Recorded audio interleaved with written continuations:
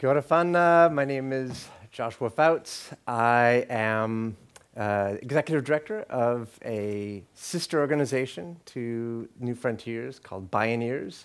It's a 30 year old nonprofit known for an annual conference hosted outside of San Francisco every October, highlighting practical solutions around social and environmental justice. And there are so many members of our family here, and the interconnections between these two organizations make me feel like I've uh, landed in, in um, an extended family. And I really want to thank Matthew and Brian and Joseph and Nisi and, uh, and, and the ancestral Maori uh, who have given permission for us to host and be part of this gathering on their land.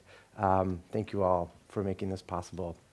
So I'm going to do a little bit of a, of a diversion. We've heard a couple, uh, so many powerful stories about uh, interspecies communication. Um, Severin just spoke about uh, hu human and plant communication, and I'm going to talk about uh, human and non-human communication. Uh, so I've talk, told you a little bit about Bioneers, and this is, uh, this is my 12th birthday, or this, this is a picture from my 12th birthday. Uh, a little bit of background. My parents uh, were part of a research project in the 1960s that, through the, dare I say, hubris of humanity, wanted to differentiate what it was that made humans special. And much of the, of the, the contemporary research at that time was that what made humans special from the rest of the planet and the rest of li living species was that we had the capacity for language. And my dad likes to say that humans are always trying to divide these differences in degrees rather than listening to the, uh, to the words and wisdom of first peoples who have always understood that humans are integrated into our, all species, all beings the, in our planet. Anyway, uh, chimpanzees were uh, and are our closest living relatives. We are more chimp than we are human. I am more chimp than I am uh, anything else, and chimps are more us than they are gorilla or orangutan or any of the great apes and primates. They have a high capacity for nonverbal communication, but they don't have a capacity for voluntary verbal communication. So the way that chimps' uh, vocalizations occur is through their limbic system, and a limbic system is totally involuntary. So an example would be if I had a glass of water and I dropped it on your foot, you wouldn't look down and say, hmm, that hurts. You'd say, ow! And that's how chimps vocalize. It's highly adaptive for the wild. If you're in one side of the jungle and you see food, and the first thing that comes out of your mouth is the food bark, then the other chimps on the other side of the, of the forest will know and gather, and they'll have food. But they, we also noted, scientists also that, noted that chimps had a high degree of nonverbal communication. They would raise their arm if they wanted to be um, groomed or, or, or met. Other chimps in other parts of of uh, the African continent would use different signals to, to signal that. And so the, my parents' project was based on the premise that they should take a culture, take a species on its own terms. If the species can't actually speak uh, uh, verbally, but they do have a capacity for nonverbal communication, why not treat them as though they were a human? How is it that humans learn their language? We're born into families that we love, and we want to communicate with our parents. And whatever language those parents might be speaking, whether it be sign language or Farsi or English or Maori, we learn that language. Um, so they adopted a, uh, or rescued, I guess I should say, this in, in, the genre, of, in the language of today, a, uh, an infant chimp who was part of the United States Air Force space program. She would have otherwise been sent up into a rocket, but instead she was adopted into a family in Reno, Nevada. And they immersed her in sign language and surrounded her by people that she loved. In fact, my dad, who was not an original member of the project, was specifically hired by Washoe. Washoe was the name of, the, of this first chimp. And the way the hiring process was is that my dad was applying for a PhD and he needed an assistantship to pay for his, his graduate research. And, and um, he actually went to meet with, this, with the professor who was leading the project and the professor, and he came in as a, as a young 21 year old and said, I, I'm, I'm passionate about psychiatry and clinical research. And the professor looked at him and said, Well, I, I, hate psychiatry, I hate clinical research, but since you've driven all the way here, I'll at least invite you to see our project. And so my dad, crestfallen and, and dejected, thinking he's going to have to go back and be a teller in a bank, walks over to, uh, with, the, with um, Allen Gardner, who's his professor, to this um, small playground. And there's a little fence, and there was a little black creature in the playground. And she saw the two gentlemen walking toward her, leaps over the fence, runs to the two gentlemen, and jumps not into the arms of what would have been her father, but into my dad's arms. And the man looked over at my dad and said, Well, you're hired. and that essentially set the trajectory. So, fast forward, what I want to do now is tell you so, we had, a, I had an interesting experience this last week where one of my colleagues at Bioneers said that she was going to be giving a speech about me. And I said, uh, Thank you, and what, what might this topic be about? She said, It's about how you have decolonized the patriarchy of organizations. And I said, um, I said, well, thank you for that as well. Uh, how might you? And she, she's a, a, First Peoples. She's the co-director of the Bioneers Indigeneity program. And she said, no, you have allowed me as a first person, as a first member of the uh, First Peoples, and as a woman to feel completely empowered and not under the thumb of a patriarchal leader. And I said, wow, thank you. And, I, and then I began to ask myself, why is it that, I, what is it about me? What is it about what formed me in my upbringing that might have influenced or, or shaped that? And I started to look back at the decades that I was uh, immersed in my parents' project. And one of the, so one of the things that happened, so I'm going to accelerate the time, uh, given the, the, nine minutes they have to go. Um, so fast forward, my parents end up, uh, the project grows. There are now five chimpanzees. Uh, President Reagan is elected.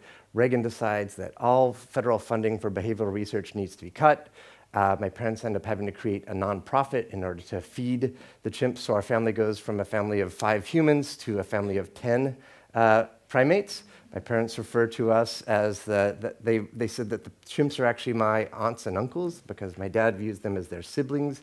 He viewed his relationship with Washoe, who hired him, as his big sister. And that was the uh, sort of hierarchy of our, of our family. And so we were never to refer to the chimps as chimps, but as non human primates, because guess what? We're all primates. Um, so, uh, but, but because they had to create a nonprofit, we were enlisted to uh, dumpster dive at the back of grocery stores. Uh, it turns out that while humans uh, are very particular about the color of bananas or fruit that they eat, chimps are, will very happily eat a brown banana or, or, or a, an apple that, has, uh, that, that, might not be in, in its, perfect, uh, its most perfect um, uh, ripeness.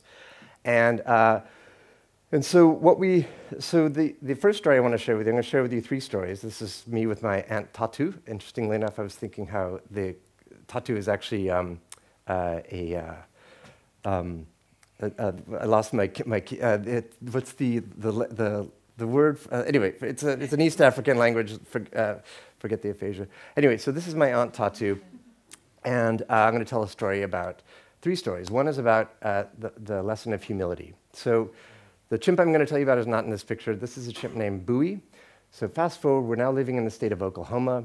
Uh, my dad is now teaching uh, graduate students about, about how to teach chimps sign language, how to immerse them, how to take chimps on their own terms. But he's the big alpha, uh, alpha uh, professor. And so we, he would take students out and they would interact with the chimps. And the chimps, unfortunately, at that time had to wear a lead, somewhat of a leash around their neck. It wouldn't have stopped the chimp from doing anything because a chimp is eight times the strength of a human kilogram for kilogram. So a 40 pound chimp is uh, basically equivalent to a, uh, or 40 kilogram chimp is equivalent to a 240 kilogram human in top physical condition. Um, so uh, my dad says, okay, the class is over. And the, the chimp he was with was named Bowie. And he said, okay, Bowie, it's time to go back. And Bowie uh, didn't want to go back. He was having such a good time, so he climbs up in a tree. Uh, well, my dad, being the, uh, the young alpha male professor, wasn't going to let that chimp show him up. So he wraps his arm around the lead and he says, Bowie, come down now. And Bowie reaches down from the branch he's sitting on the tree with one arm and lifts the lead up. So my dad is now swinging there. But in a moment of, uh, of humility, my dad says, Bowie, I'm sorry. I forgive you. Bowie, so thrilled at this moment of compassion, leaps down out of the tree into my dad's arms, and they went away. The lesson I took away from that is one of the importance of humility. A few years later, Washoe, the lead matriarch, becomes pregnant. Um, in her pregnancy, the chimps, unfortunately, at that time were living in cages uh, because, uh, and I can, I'll tell you after the talk, I can explain those details, but it was not our desire to have the chimps live in, live in cages. And in fact, my parents at this point, more or less determined this was a project that should never have been done because it, because it condemned a sapient creature to a life of imprisonment because of the hubris of us wanting to understand what it was that differentiated us from them. So unfortunately, Washoe's newborn baby gets, uh, gets sick because of a rust uh, in the cage, catches pneumonia. Washoe takes a toothbrush and tries to uh, clean out her child's throat. At this point, the throat's been lacerated, and the humans have to, to intervene and take the baby away. The baby ultimately dies. Washoe goes into what would be considered a clinical depression. She refuses to interact with people. Every time my dad would come see her, she would say, Baby, baby, with the eyes raised. And my dad would say, No, the baby's finished. Baby's finished. Um, uh, so as uh, and, and, finally they, uh, they, they, found an adoptive uh, son for, for Washoe, who was actually featured in the previous first slide that I showed you on my, on my 12th birthday.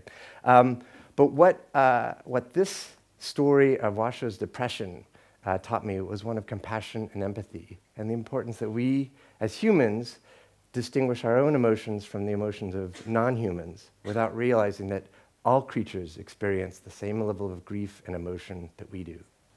Okay, so my third and final story takes us to the present day. So the project goes on for some 40 years, and then my parents uh, retire. Three of the chimps ultimately die from undiagnosed viruses in their, in their 40s part of the problem there is that while the chimps had a high capacity uh, for, for sign language and could express a lot of things, they tend, didn't, couldn't explain the nuances of what it meant to feel pain and to hurt. Um, and so my parents decided that the chimps had spent enough time uh, being observed by humans and deserved a retirement. So the two final chimps were retired to a chimp sanctuary outside of Montreal in Quebec. Um, so my life went on, and I got married and had kids and moved across the United States, and a decade goes by, and I hadn't seen the chimps. And so last October, my wife and I decided to go up to, to Montreal and, and visit the two remaining chimps. Uh, Mary Lee Jensvold, who's the uh, new executive director of my parents' projects, warned me. She said, You know, um, Tatu, who is featured in this picture, gets very angry when people uh, when people see her, people who come to visit her, who she's known from the past because she feels abandoned. She didn't ask. She was told that she was going to be moving to a new place, and then all of a sudden she ends up in a new place. She doesn't know anyone there. And so when people show up who were part of her daily life, she gets really angry. So I had my expectations low. Uh, but we went in, and and Loulis, who was, uh, who's in the first picture, came, came, down. He's in his late 30s now, so he's no longer uh, uh, an infant, and he was playing with us a little bit. We had, we were, he was in a, in a there was a glass uh, divider, so we weren't actually physically interacting. And then Tatu came down, and she stayed sort of in the far distance and didn't come close to us, but she didn't yell. And she just sat in the corner of the room and signed, friend. And that moment when I realized that the level of empathy and the, the, depth of relationships that we have with all creatures and the inter- interdependence that we have with all beings on this planet, be they plant or animal or earth, we're all one and integrated. And these messages that were shared with us at the expense of five and really thousands of chimpanzees who have had to spend their lives in, in um, captivity, hopefully, are messages that will help us to understand and appreciate that these are experiments that should never have been done, that the hubris of humanity to relearn the lesson that first peoples have always known, that we're all interconnected, um, is a message that we should all carry with us. Kia ora.